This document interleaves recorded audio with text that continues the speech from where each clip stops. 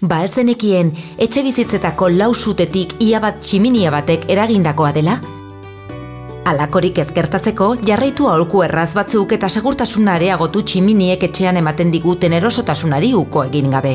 Etxe bat konpondu edo erosten duzunean, gogoan izan tximiniaren isolamendua egiaztatu behar duzula eta lanak beti profesionalen esku utzi. Tximinian mantentze lanak egitea ezinbestekoa da.